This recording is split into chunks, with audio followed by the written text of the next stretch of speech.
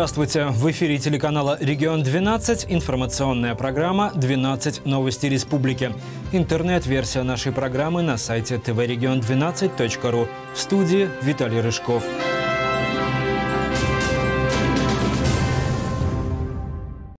Во Всероссийский день лицеиста, который отмечается сегодня, особое внимание профильным образовательным учреждениям. Лицей имени Ломоносова на протяжении нескольких лет входит в топ-500 лучших школ России, а поступаемость выпускников лицея в высшие учебные заведения в прошлом году достигла 100%. В чем секрет качественной школьной подготовки? Подробности в следующем сюжете. В среднем на 10 пунктов выше общереспубликанских показателей. Такими результатами ежегодно хвастается лицей имени Ломоносова по среднему баллу сдачи единого государственного экзамена не только по обязательным, но и профильным предметам. Так, за последние 4 года 13 выпускников лицея имени Ломоносова заработали высшие результаты по ЕГЭ, а именно 100 баллов. Впрочем, по словам самих учителей, подготовка к выпускным и вступительным экзаменам, а как следствие к поступлению, начинается еще в начальной школе. Дело в том, что у нас и технологии образования, которые мы используем, они, в общем-то, мы стараемся придерживаться всех новых тенденций, которые в образовании существуют, но мы всегда стараемся что-то усовершенствовать, то есть внести какие-то новшества, чтобы нашим детям было интересно учиться. Это в первую очередь касается не только урочной деятельности, но и неурочной. То есть мы расширяем, расширяем неурочную деятельность, создаем такое образовательное пространство, которое перемешивается урочное и неурочное, и ребенок получает образование в течение всего дня, который находится в школе. А дети у нас находятся где-то часов до 4 до 5 в школе. То есть у нас идет такая связь дополнительного образования и основного образования. То есть вот здесь вот мы ищем новые формы. В отличие от многих других общеобразовательных учреждений республики, профильное изучение предметов начинается здесь с первого класса. С английским языком, информатикой и математикой дети начинают знакомиться, только переступив порог школы. С пятого класса добавляется изучение второго иностранного языка, профильное же обучение отводится старшим классам. Вообще лицей – это звание, которое нужно не просто так присваивается школе. Это значит, что есть а, углубленное изучение предметов. В частности, в лицее Ломоносова это физико-математическое направление, общественно-политическое направление, физико-биолого-химическое. То есть здесь направлений очень много. И лицей еще славится тем, что здесь очень хорошо поставлено преподавание иностранных языков. Он всегда был даже сначала как гуманитарный, но теперь это многопрофильный. Так, основными своими достижениями лицей выделяют включение в национальный реестр ведущее образовательное учреждение России, причем дважды, а также в число победителей всероссийского конкурса «500 лучших школ России». Я посетил лицей, посмотрел, насколько эффективно преподают, насколько эффективно готовят нам людей с высокими морально-деловыми качествами, какой коллектив какие проблемы в коллективе. Но самое главное, посмотрел материально-техническую базу, потому что с каждым годом мы выделяем средств все больше и больше для того, чтобы школу нашу привести к, скажем так, европейскому уровню. Смотрите, даже в глубинке мы строим школы, за которые нам не просто не стыдно, а мы гордимся, что они у нас есть. И это очень хорошо. Лицей, номер, лицей Ломоносова – это учебное заведение, куда все стремятся, потому что хорошие знания дают. Дети профессиональными выходят, знающими. Это очень хорошо. Мы будем поддерживать такую практику, что правительство напрямую управляет э, образовательными учреждениями. Лицей имени Ломоносова упрощает и жизнь родителей. Обеспеченность учебниками всех учеников здесь стопроцентная. Несмотря на то, что само здание школы построено в 1938 году, в последнее время здесь усовершенствована и материально-техническая база. Полностью отремонтирована столовая, создан малый спортзал, отлично подходящий для спортивных факультативов. Абсолютно все кабинеты оснащены интерактивным компьютерным оборудованием. Впрочем, самую главную оценку этого лицея дают сами ученики. После окончания основных уроков ребята не торопятся домой, выбирая кружки и факультативы по своим интересам, посвящая свое детство не современным гаджетам, самообразованию самых первых классов своего школьного обучения. Жители Мариэл могут напрямую обратиться к депутатам Госдумы. В период осенней сессии каждая последняя неделя месяца для депутатов является региональной. В это время представители Госдумы ведут прием населения на местах. Первая региональная неделя для недавно избранных депутатов стартует с 24 октября. Так, Светлана Солнцева, представитель в Госдуме от Мариэл, планирует провести личный прием граждан в Ешкарале уже 27 октября. Стоит отметить, что в новом составе Госдума работает около двух недель. Сейчас завершается организационный период, проходит заседания комитетов, а также парламентские слушания. Напомню, Светлана Солнцева вошла в состав комитета по образованию и науке. Всего в нем 20 депутатов. Нашему телеканалу удалось буквально из первых уст узнать, какие важные решения в сфере образования и науки могут быть приняты в ближайшее время. Прошло уже первое заседание, и это первое заседание у нас прошло с участием министра образования и науки Российской Федерации Васильевой Ольги Юрьевной. Если сказать в двух словах, то это касается и дошкольного образования, и среднего образования, и высшего образования. Это касается заработной платы. То есть здесь нужно пересмотреть базовую часть педагогических работников и стимулирующую часть. То есть базовая часть, как она отметила, должна быть э, не меньше 70%, а стимулирующая часть 30%, а, чтобы не было вот такой вот разницы между субъектами Российской Федерации. И, конечно же, основной вопрос, который нужно будет поддержать, это правильно касающийся педагогов, учителей и часть инженерных специальностей. Это бакалавриат перевести в специалитет, потому что за 4 года обучения э, из педвузов выходят, скажем, ну, вроде как бы и не специалист, не учитель, вроде не законченное как бы высшее образование, а именно должен быть специалитет. Сегодня состоялось второе заседание Госдумы. Посещаемость высокая. Стоит отметить, что в этом созыве особо пристально будут наблюдать за дисциплиной среди депутатов. Они уже не имеют права передачи своего голоса коллегам, как это было раньше. Как отметила Светлана Солнцева, это очень важно, поскольку каждый депутат должен лично нести ответственность за свой голос. Напомню, представители от Мариэл вошли в следующие комитеты Госдумы. Виктор Кидяев – комитет по федеративному устройству и вопросам местного самоуправления. Светлана Солнцева – комитет Комитет по образованию и науке, Сергей Казанков, Комитет по бюджету. В течение нескольких лет к ряду в МРИЭЛ регистрируется естественный прирост населения. Причем, по данным Аристата, за 8 месяцев текущего года число родившихся превысило число умерших почти на 8%, тогда как за аналогичный период года прошлого этот показатель составил всего 2,3%. Величина естественного прироста составила 470 человек. Число родившихся в 2016 по сравнению с январем-августом 2015 года увеличилось на 0,1%. Число умерших уменьшилось на 5%. В то же время жители Мариэл меньше женятся и больше разводятся. Увы, но число молодоженов, зарегистрировавших свои отношения, в этом году снизилось сразу на 21%. При этом на 100 браков в нашей республике сегодня приходится 64 развода, то есть разводятся больше половины половины всех пар, тогда как в 2015 распадалось ровно 50% браков. От них не ускользнет ни одна деталь. Криминалисты Следственного комитета сегодня отмечают свой профессиональный праздник. Эта служба была создана в структуре органов прокуратуры в 1954 году, но после образования Следственного комитета в 2007 перешла под его крыло. Работа криминалистов-детектив в реальности – помогать в расследовании тяжелых неочевидных преступлений, когда преступник не найден по горячим следам. Поэтому в их арсенале необычное оборудование, помогающее найти даже тщательные скрытые улики.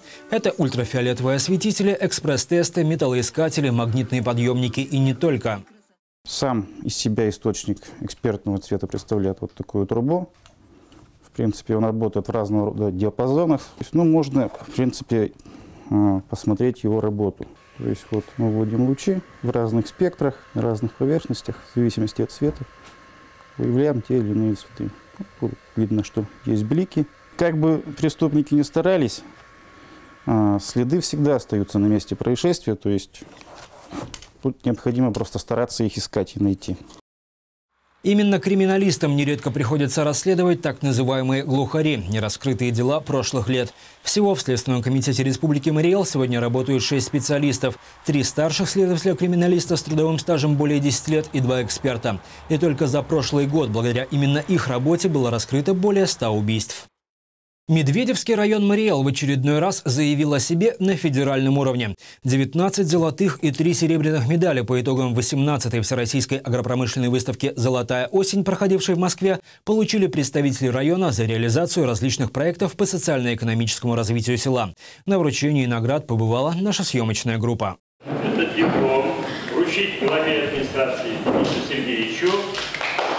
Медведевский район получил золотую медаль за эффективное управление развитием сельских территорий. Признание на всероссийском уровне район получил за успешную реализацию республиканских и федеральных проектов по социально-экономическому развитию села. Подобные проекты привлекают инвестиции, создают рабочие места и обеспечивают налоговые поступления в бюджеты всех уровней. Яркий пример – проект по строительству птицекомплекса в поселке Юбилейный. Первый этап завершен. На отведенной территории теперь есть вся инфраструктура, проложены необходимые для работы и жизни людей сети. На очереди строительство строительство жилых домов для работников. В процессе этой работы мы попали в федеральную программу устойчивого развития сельских территорий на территории юбилейного сельского поселения. Программа федеральная, там планируется открытие убойного цеха тесофабрики на количество рабочих мест 500. И под эту программу мы планируем там развитие, я скажу, что еще одного поселка, такого как юбилейный. Там будет порядка 600 домов личных, 8 многоквартирных, пристрой к школе, современный стадион, пристрой к больнице. То есть это будет законченный объект со своей совершенной инфраструктурой. За реализацию этого проекта юбилейное сельское поселение было удостоено серебряной медали. Аналогичная награда досталась и администрации Нурминского сельского поселения. По инициативе местных жителей сразу в нескольких населенных пунктах появились детские городки, полностью отвечающие современным требованиям. На будущий год значительное преобразование коснутся еще нескольких сельских поселений, в частности, Кузнецовского. Диспансеризация или начинаем следить за здоровьем. В МРИЭЛ продолжается добровольное медицинское обследование взрослого населения. Оно идет по всей стране уже четвертый год, но многие до сих пор не знают, что обследоваться можно за один день и бесплатно. Подробности в нашем материале. Несколько минут ожидания в регистратуре, и пациент, решивший пройти диспансеризацию, уже оказывается у специализированного кабинета. Борису Андрианову 81 год исполнился. Он прикреплен по месту жительства к городской поликлинике номер один и попадает в те 11 тысяч жителей заречной части Йошкар-Олы, которые могут пройти в этом году обследование. Узнается новые болезни, а у нас, как обычно, вот, например, с клюшкой хожу, новые болезни еще прибавилось ко всем остальным. Так что здесь очень помогают. Вопросы специалиста до врачебного кабинета помогут составить портрет здоровья. Здесь же определят ваш рост и вес, измерят давление. И уже после выдадут направление на необходимые обследования. Дело минутное, никаких очередей. Ежедневно с 8 утра и до 18. Без дополнительной записи и один раз в выходную субботу пациентов ждут в поликлиниках республики. Дополнительной диспансеризации подлежат в этом году следующие возрастные категории. Начиная с 1995 года, потом 92 89 и так далее с периодичностью в три года. Нужно иметь при себе паспорт и полис. Двух визитов в свою поликлинику будет достаточно, чтобы узнать о своем здоровье. Первый прием вмещает максимальное количество исследований. Их перечень зависит от возраста и пола, а также из определившихся факторов риска. В обязательный список входит ряд узких специалистов, а также анализы, флюорография, ЭКГ. Женщинам назначат маммографию. Достаточно трех показателей, которые позволят врачу уверенно говорить о состоянии здоровья пациента. Это уровень артериального давления, глюкозы и холестерина. Все обследования обследования абсолютно бесплатные. Приглашают участковые врачи, участковые медсестры. У нас везде объявление есть, что это можно прийти к нам сюда, в доврачебный кабинет, к участковому врачу, обратиться в регистратуру. Руководители организаций предприятий также должны быть заинтересованы в здоровье своих сотрудников и создавать условия им для прохождения диспансеризации. Именно хронические неинфекционные заболевания являются причинами смертности и инвалидности населения региона. Многие молодые люди уверены, что заболевания той же сердечно-сосудистой системы присущи только людям пожилого возраста. К сожалению, статистика последних лет упорно доказывает обратное. Инфаркты миокарда и инсульты стремительно молодеют. И причина тому – курение, малоподвижный образ жизни и избыточный вес. За 9 месяцев этого года в Мариэл из 69 тысяч обследованного населения населения. 20% направлено на дополнительное углубленное обследование. Чтобы информирование жителей Мариэл шло активнее, на помощь медработникам пришли страховые представители. Сейчас в качестве пилотного проекта они работают с пациентами поликлиники номер один. С 2017 года трудиться будут повсеместно. Страховые представители как раз занимаются информированием граждан о необходимости проведения диспансеризации.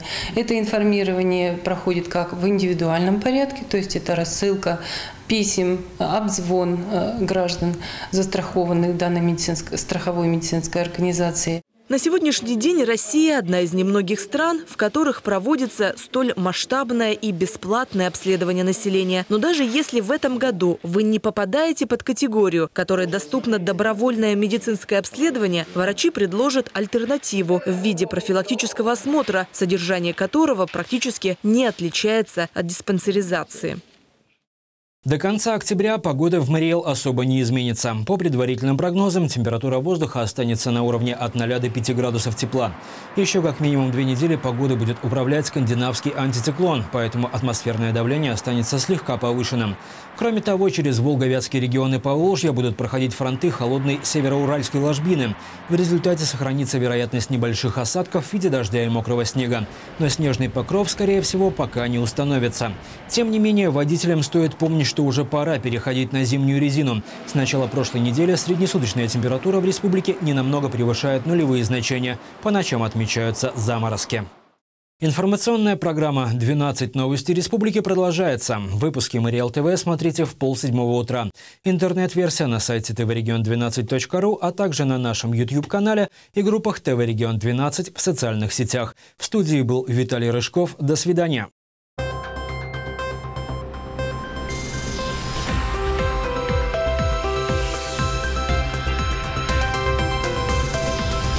Эрла эрдене кутшыгытат кумлы минутлан Марил тывышты ончыза. Уласыла тикымшы номеран лицеем капитально омыкташ тӱҥалыт. Сайын туныктымылан грант.